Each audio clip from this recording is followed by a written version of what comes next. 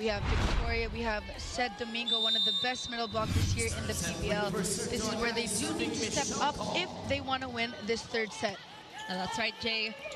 Domingo currently has two points and Victoria has three. Confidence coming from Donna being a very uh, crafty in her attacks with that one-two play. You like to see that confidence growing and growing with every single set that we have. Victoria, speaking of the middles, getting activated early on here in our third set. Leading scorers here, Wilma and set. Oly Okaro going cross court. What a squad coming from the veteran Brooke Van Sickle. Still being adjusted here. That is a bit too high for her liking.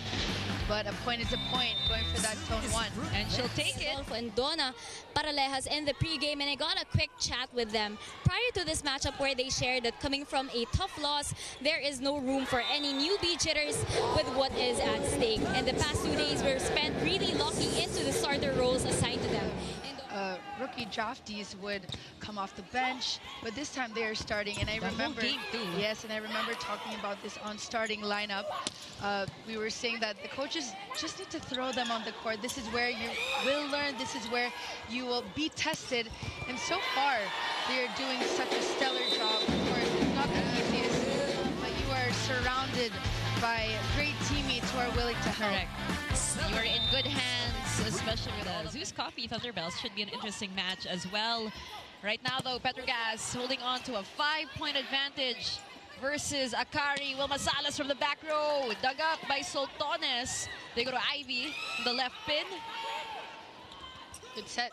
Adolfo is denied. The blocking of Ced Domingo. Take a look at this replay. No coverage for Akari.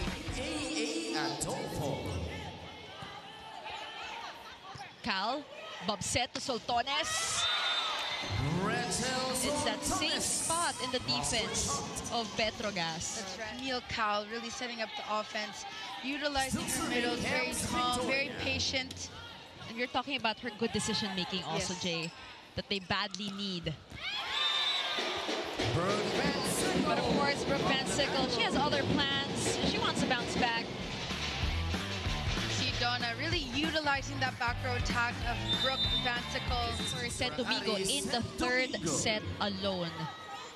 They are down by just a single point. Not quite yet. Oh, Brooke is blocked. And you like the, the celebration, right, of Kamille Cal.